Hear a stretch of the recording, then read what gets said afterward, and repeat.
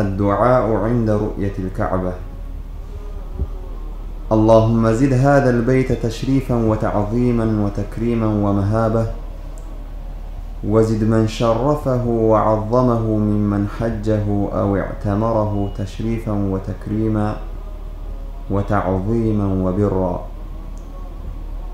اللهم أنت السلام ومنك السلام فحينا ربنا بالسلام.